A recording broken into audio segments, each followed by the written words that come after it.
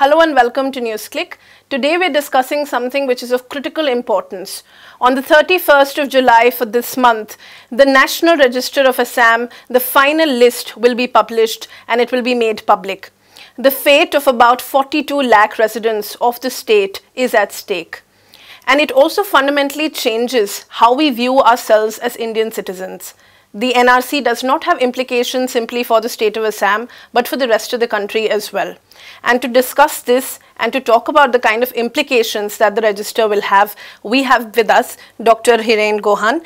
Uh, he's somebody who does not need an introduction, but for our viewers, he is a poet, a literary critic, he's a social scientist, but more importantly, he's somebody who is very well connected with the essence of the state and its politics. Thank you so much, sir, for joining us and for speaking with us about this turbulent time that it is for the state and, uh, like you were mentioning earlier, for the country as well. So I want to begin by explaining to our viewers as to the kind of implications that the NRC will have on the state and the atmosphere that the state is currently witnessing, if you could tell us more about that. Uh, thank you for having me with you to discuss uh, problems in Assam, problems of Assam, which find very little space yeah. unless there is violence in the so-called national media, you see. The NRC was not the, you know, this, as contentious an yes. issue mm -hmm. when it began, as it has become now. Uh, the process started in, I think, 2006 or something. Mm -hmm. And before that, through various uh, turbulent events, as you have said, you know, violence, massacres, and displacements, uh, two communities involved here, the immigrant Muslims and the indigenous people of Assam, including the Assamese and the tribals. Uh, they came to an understanding that the very tangled question of citizenship in Assam, you know, which had rocked the state yes. for years, mm. and which had at one time led to uncontrollable horrific violence, you balance? You know.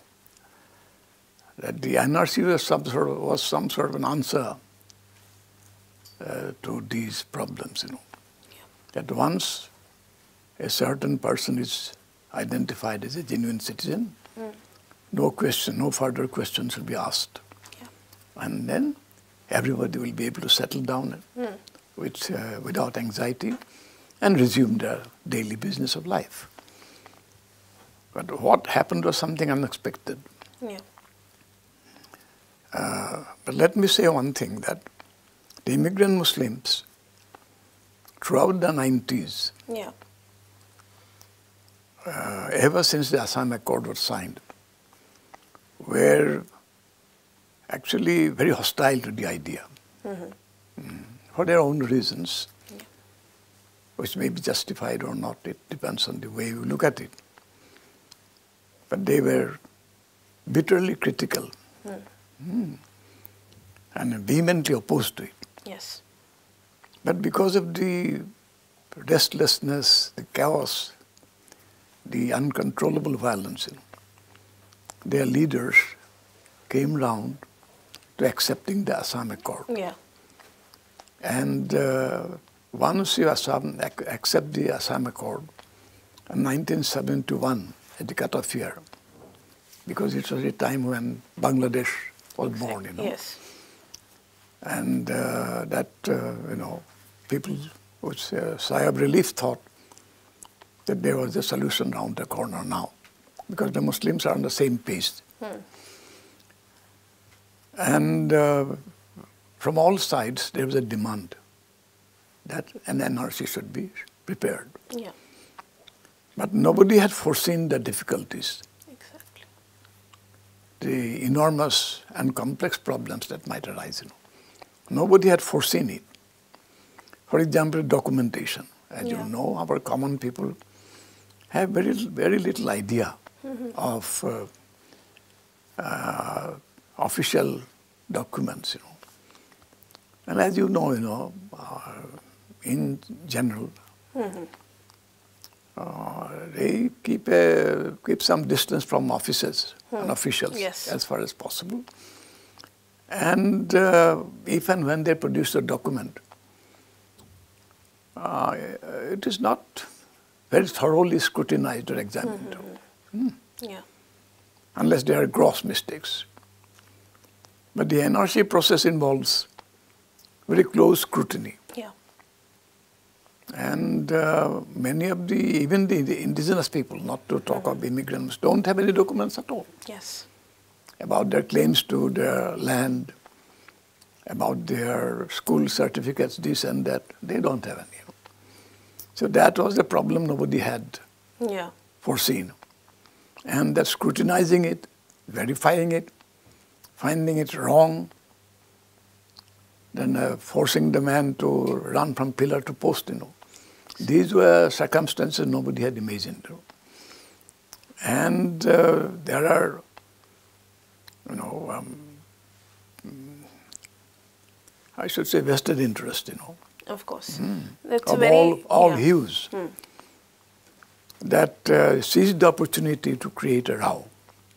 It's a very interesting thing that you're pointing out, which is that the same anxieties that Yeah. they were trying to Yeah. sort of um, settle with Yeah. the NRC are again resurfacing. Upon the interests of multiple political parties, the BJP has said that they are expecting, they are going to try to push the NRC to be a national uh, kind of a register. So, do you see this turning into a more, uh, as to a plank of polarization? You see, I mean, they have discovered that this would be a very useful ploy Yeah. to polarize society, to demonize a certain community, and create mayhem, you know, from which they expect to profit. Hmm. So they, of course, are taking full advantage of it, and some people are willingly playing their game. And that is what is happening in Assam also. And uh, uh, religious and ethnic chauvinisms are being encouraged. Mm. And there are people in all communities, you know, who play along, Yes. while the common people are bewildered, you know. Mm. They, they uh, run this way and uh, or that, and they sometimes, uh, you know, set their foot in traps. Yeah. And this is uh, happening at the moment because a volatile situation is be- being created. Yeah. When the NRC had begun, uh, it was expected to have been a very peaceful process. Yes. But now it has become a very divisive uh, thing. But still, we, some of us hope to maintain that. It should go on in a fair way, and the Supreme Court should heed the difficulties faced by the people squarely, Yeah. not from a lofty height, and ignoring the real difficulties faced by the people, you know. And uh, this, uh, uh, the way that is being conducted is very bureaucratic and sometimes even mindless, you know. Yes. There is another thing that people are not aware of outside Assam. It is that at the same time, parallelly, another process is being, you know, I mean, sort of run. Yeah. That is the foreigners' tribunals. Exactly. There used to be a few foreigners' tribunal, tribunals, and uh, every year, uh, 10, 20 people would be detected and, uh, you know, de- declared as foreigners, and they would be sort of some steps would be taken, you know, and that was normal and it was uh, expected to happen, you see, because there is a- there is a border, porous border, Yes. and people may come in. And now there are. no, no, no, yeah. please let me continue. Yeah. Hmm. in recent times, the foreigners tribunals have been made hyperactive. Mm Okay. So that scores and probably hundreds of people are being declared foreigners. And once somebody is declared foreigner, mm. even if his name in there is in the NRC, yeah. after a very rigorous, painstaking process, you know, yes. he is declared a foreigner at once and is sent to the detention center, whatever. That is, I think, very unfair. It's a double jeopardy for the common man. So these are things, of course, in my opinion, that have a political origin. Mm. Mm. That uh, doesn't necessarily follow from the NRC, you know. And uh, we had expected it to have been a very humane, fair process. Uh, because of the difficulties of the problem and the circumstances, the very fact that our common people have very little idea mm-hmm. of documents and verification and all that thing, sort of thing, you know. But this didn't, this has not happened. Yes. And we have a platform of conscious citizens. We have repeatedly taken it up, repeatedly taken it up with the coordinator of the NRC, Mr. Pratik Hajela. Okay. We have met him at least six, seven times, raising these very problems. Hmm. And trying to maintain a non-communal yes. outlook about the whole thing and asking people to be patient and asking the authorities to be fair. And with the kind of protests, there were a lot of protests in the state against the Citizenship Amendment Bill as well. And uh, you, for someone, uh, sedition charges were pressed against you as well in the process. So, um, how difficult was that, and how turbulent are situations still for those conscious citizens to keep fighting? See, it's a very puzzling thing on the one hand, the BJP reassures people again and again. They will follow the Assam Accord to the letter. Yeah. They are going to fulfill it. The Congress had bungled it or have uh, neglected it. They are going to sort of, you know, turn it into reality. And now they say that they also want to get this, this cab to come in which is a very negation of the Assam Accord. Yeah. So both these things are being maintained at the same time. And uh, I don't know how people are persuaded that this can go together. But there have been protests about this, you know, and people very, uh, you know, many uh, Assamese uh, national bodies, you know, they call themselves National Jatiyatavadi, this and that. They have also protested that this doesn't make any sense. Yeah. Mm. You can't have it both ways, you know. But the, the, the powers that be, that they don't listen. Yeah. Yeah. And also you feel that there is an attack on these conscious voices? Of course they are. They are. Because, you know, the very idea of fairness, very idea of justice, equal justice for all, yes. that is a promise of our constitution that uh, sticks in the gizzard of some people, you know. Mm. And uh, they want to normalize injustice. And in this process of sort of normalizing injustice, like you were mentioning, that there is a lot of bewilderment in the state. People are having to run from pillar to post. Yes. So, how do you see this anxiety, of course, reaching a vantage point now? Because the date of the register is finally approaching. So what happens in the future? Very difficult to say. Mm, but uh, you know, there are some people who are insisting, like the BJP, there are all these 40, uh, 4 million people, must all be foreigners. You know. hmm.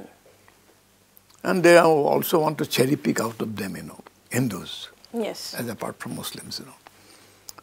Which uh, goes against the idea of citizenship in India as we understand it.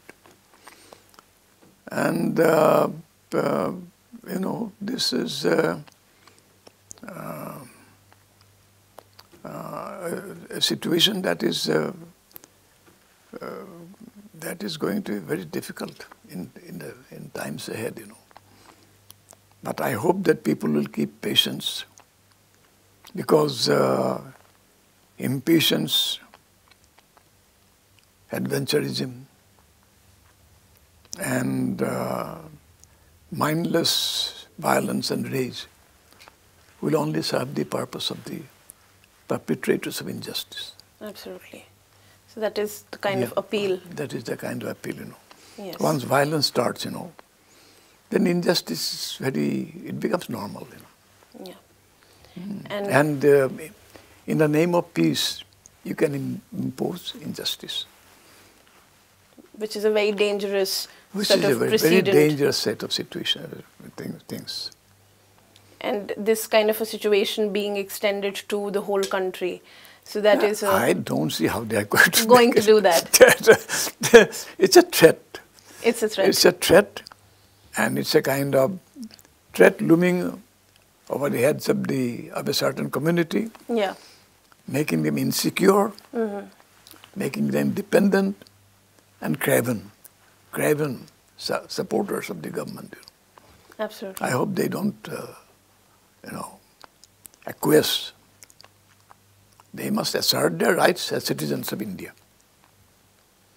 And the very idea of what it means to be citizens of India is something that is now being discussed. What I mean, I think, you know, the constitution itself is quite clear about it. Yeah. Mm. Uh, and uh, whatever problems are there, there are problems everywhere. Mm. Migration is, has become an international problem now. Yes. So every country, every state is facing it. And humane solutions are being worked out. But people like Trump also, they're also against it. Yes. Ah, there is an attempt the world over to normalize repression, oppression, and uh, make violence the, the, the, the character of the state. And all democratic people must stand against it, opposed to it. And uh, I think that's what we should all, we all should do. Yeah. yeah. It's, a, it's a very strong message that you have sent that there is violence and there are attempts which are being made to normalize violence yeah. and injustices. And uh, be it the US or be it the state of Assam in India, but we all must stand against this kind of normalization of violence. And we will end this broadcast uh, with this note and with this appeal to our viewers as well. And we will keep tracking the issue of the NRC in the state and we will keep bringing you more updates from there. Thank you so much, sir, for joining us and for giving us this very detailed understanding in a limited amount of time. Thank, Thank you. Thank you so much for giving me a hearing at all. Thank, Thank you. you.